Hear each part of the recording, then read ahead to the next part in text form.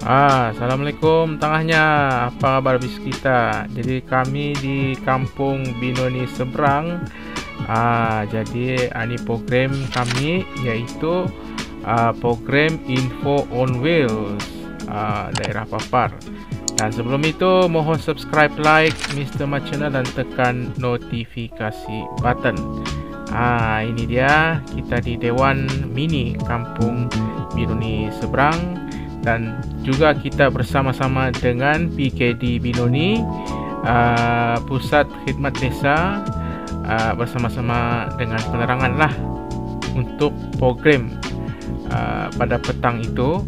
Dan inilah dia uh, kita punya ketua kampung yang sangat sangat uh, berbesar hati menerima jabatan penerangan di sini mengadakan program bersama warga kampung yang sangat bersemangat lah ya kita ucapkan terima kasih kepada kerjasama semua penduduk kampung Binoni seberang. Kamu lihat tuh burung-burung habis dia datang kemari. Nah ini juga kami sediakan bahan penerbitan uh, jabatan penerangan ada belanjawan ada pasal uh, 5G semualah kami bawa. Dan uh, ada juga di kalangan uh, daripada kaum hawa ibu-ibu pun datang juga pada petang itu. Kami sangat uh, apa berbesar hatilah dan uh, sekejap lagi kita akan mulakan sesi uh, ceramah kita. Jadi sama-sama kita ikuti video ini guys. Oke kita sama-sama tonton dan uh, ambil uh, perhatianlah Alhamdulillah Rabbi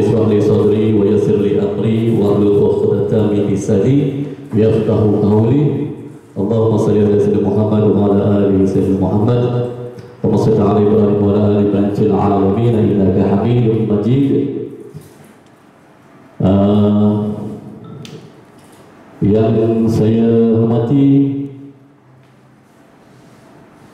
awal rahim awak Guru KN uh, Haji Muhammad Bakar, Haji Usman, Ketua Kampung Binoni yang saya hormati Puan Sukarni Asun, Wakil uh, Pegawai Penerangan Daerah Papar Cik Nuril Fiana betul Nuril Fiana Ros Nur Salim Pengurus PKD Kampung Seberang Binoni uh, adik-adik, puan-puan yang saya muliakan sekalian. Alhamdulillah uh, sebenarnya program yang berlangsung petang ini uh, bukan secara rasmi ataupun protokol cuma kita santai saja saja. Mengajukan program tapi uh, kita bersama lah jabatan penerangan dapat tahu hari hari Jumat tu adalah uh, program kami juga sekali lah jadi alhamdulillah dengan uh, usaha yang dibuat oleh Tuan Haji Bakar untuk uh, menjemput tuan-tuan dan puan uh, hadir pada petang ini. Dan uh, sekali lagi saya mengucapkan terima kasih. Yang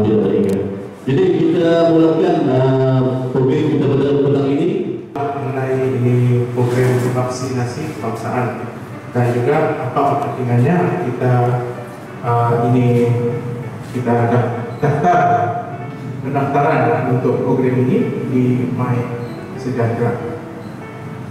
Okey.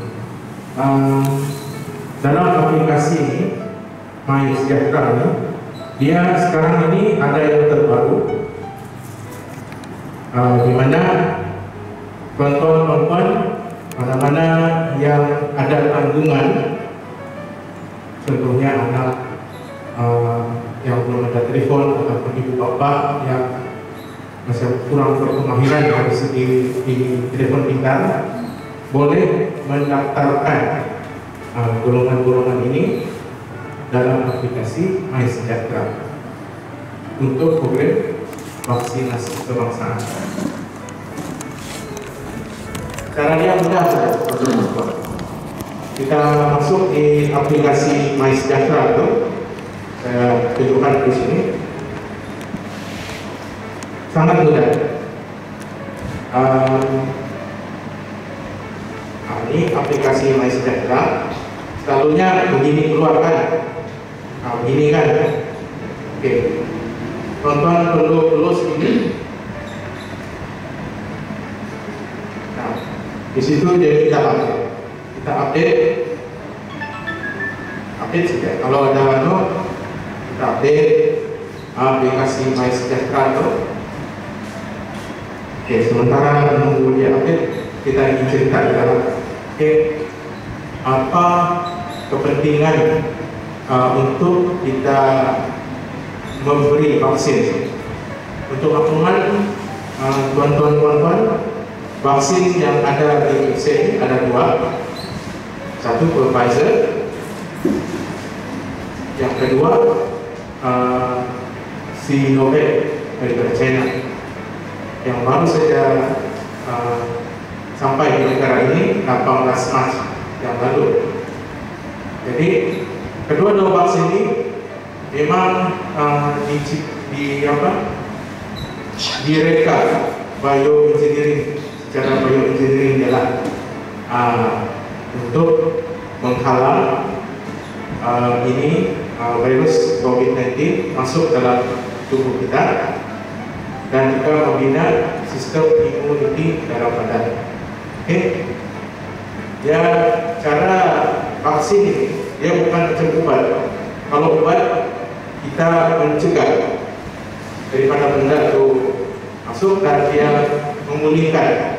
Tapi ini dia lain. Kalau vaksin uh, dalam bahasa mudah adalah dalam bahasa kita kena suntik vaksin dia dalam badan kita ini bila dia suntik saja dia bagi satu apa dia sebagai satu maklumat dalam kita punya ini uh, sistem pertahanan pertahanan badan dalam badan kita ini banyak antibody uh, jadi bila suntik jadi informasi apa itu yang maklumat itu antibody kita yang akan respon apabila ada apa itu ini apa itu virus bila masuk saja dia akan kalah virus itu daripada terus membiak dalam tubuh kita itu bahasa mudah. Tapi yang lebih detail korban-korban boleh uh, merujuk kepada pakar-pakar perubatan tapi untuk bahasa mudah yang kita paham sini vaksin itu dia membina sistem antibodi dalam badan kita pertahanan dalam badan kita. Berbeda dengan obat obat dia menyembuhkan. Tapi ini dia supaya badan kita kuat tentang itu virus. Saya punya empat sendiri sudah ada suntik dia kesan dia itu kan dia tidak rasa apa-apa dia hanya demam saja. Dia tidak demam tidak ini oke saja nah, beliau tidak rasa apa-apa jadi itu itu uh, kesan dia bergantung dengan masing-masing uh, lah. So masing-masing ini ada antibody yang berlainan jadi jangan risau lah. Oke okay, Yusuf uh, jadi uh, Mari sejahtera itu saya dengar sedikit lah. Uh, Ataupun vaksin itu Vaksin itu sebenarnya peluang kita. Itu adalah obat ataupun uh, pencegah bagi uh, diri kita daripada kena uh, ke keluarga kita. Uh, Kalau kita fikirlah Assalamualaikum salam sejahtera Saya Sukani Asun uh, Daripada Pejabat Penerangan Daerah Papar Okey, baiklah. Saya hanya menyentuh sedikit tentang uh, bukan. Saya ingin memperkenalkan pusat maklumat rakyat yang ada di pejabat penerangan daerah Papa. Ya, mungkin ramai yang tidak tahu di pejabat kita ada satu uh, satu unit yang mengendalikan semua poster-poster yang kamu nampak tu uh, gambar agung, gambar kita punya menteri-menteri uh, semua di bawah unit pusat bantuan rakyat. Sekarang ni macam uh, sejahtera, COVID semua memang ada di sana. Okey, jadi kepada anak atau ahli keluarga yang lain, bolehlah wawakan kepada mereka untuk datang ke pejabat kami. Memang kita alu-alukan, jangan risau. Semuanya tidak tidak ada bayaran. Kategori-kategori, tapi jangan jangan risau. Daftar sahaja, takut dah divaksinkan, sebenarnya uh, pihak KKM akan memastikan siapa yang layak dan tidak layak untuk dapatkan ini vaksin. Macam briefing lah, kita daftar dulu. Kita layak atau tidak layak ter terpulang. Ah, jadi apa? Sebab sekarang ini penguasa akan pastikan itu SOP dipatuhi. Sekiranya tidak, dia akan dia boleh denda secara uh, on the spot saja. Oh, ini lah, ini yang seperti itu lah. Bagaimana kalau orang yang ada sudah kerja penyakit di badan, malu kan disuntik? Yang sudah ada penyakit di badan, bagaimana? Contohnya macam darah tinggi, ampus, sawan, dan banyak mengidap ministrop. Itulah ke, keperluan kita mendaftar di My Sejahtera. Di Sejahtera itu kalau dibuka sudah ada permintaan apakah sejarah penyakit. Maksud sejarah penyakit itu mungkin kita sawan kan, sakit jantung kah, sakit apa kah, kena tugas di sana. Maksudnya ngetek. Kita ngetek supaya pihak kesehatan dapat menasihkan mana yang boleh disuntik dan tidak boleh disuntik. 18 tahun ke atas kan untuk menerima suntikan. Yang pertama, yang pertama ini untuk Florina Florina yang kedua nanti orang tua yang 65 tahun. Lepas itu 18 tahun ke atas. Jadi yang 18 tahun ke bawah udah kayak udah perlu suntikan. 15 tahun ke bawah tuh dia ada sistem imunisasinya yang belum habis tuh. Ah, jadi itulah makanya kerajaan tidak membagi vaksin suntikan vaksin ini kepada mereka. Selepas 18 tahun ke atas baru orang boleh ambil. Ah, sebab ada segelintir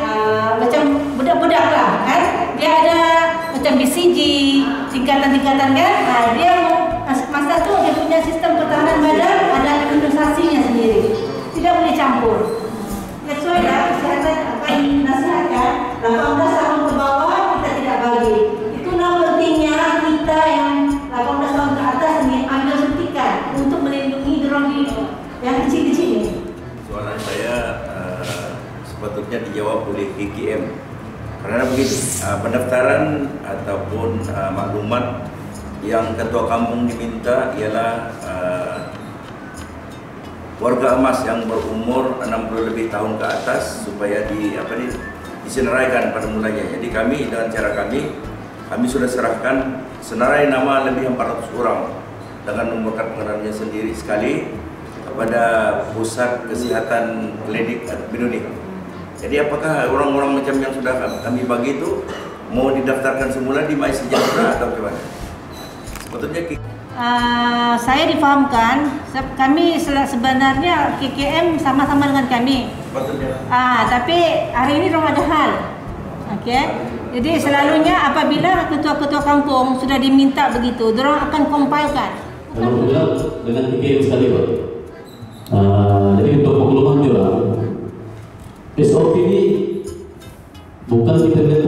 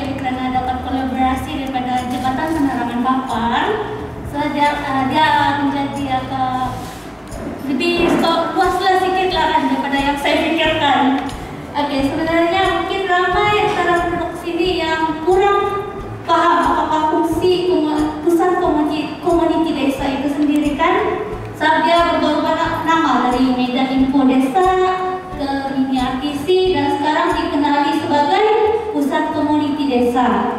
Oke, sebenarnya pusat komuniti desa di kami ada fokus kepada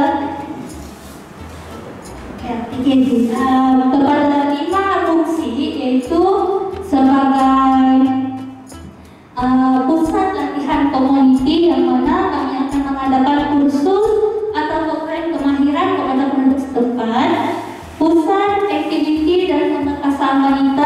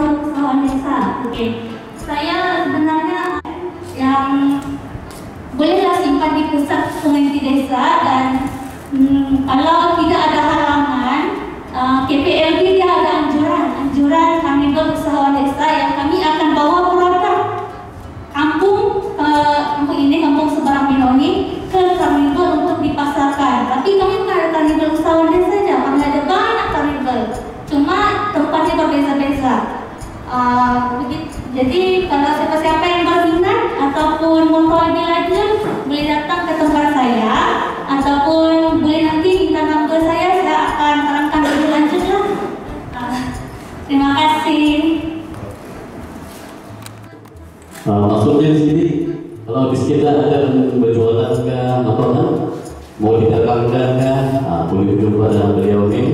Mungkin pesanan kita menjemput kepada wanita-wanita untuk kampung ini siapa yang berminat lah untuk kampung boleh war-war kepada 10 orang wanita. Yang Jumat ini saya ada adakan program satu wanita satu toko saya akan berikan uh, satu orang satu polybag uh, sebagai apa tuh nama dia tanda yang kita ini. Di samping kita ada masalah pandemi kita juga jangan melupakan bahwa alam sekitar juga memerlukan kita. Oke sekian terima kasih Kurang ya. ya Sophie. Sepuluh orang saja percuma. Percuma. Apa cuma Ya. pesan kan pesan dia punya nih pokok pesan ada ada uh, masih dalam benih. Apa dia saya bagi-bagi itu percuma ada apa itu jadi wanita saja laki tidak ada pasal sini ramai laki ni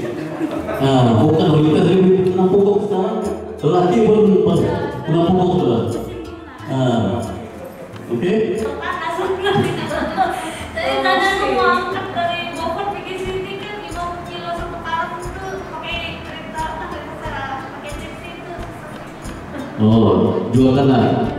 Jadi kita lakukan lah. Siapa mau beli tanah, ke beliau. Oke. Jual tanah murah, ya? Berapa satu? Ah, dia harap sudah mendapat kita pakai. Bukan lagi pakai lagi esok dipakai nih. Ada orang tuh kan? Dan tahu apa kita di sana tuh hinggap. Pakai nih. Sampai tiga hari pakai.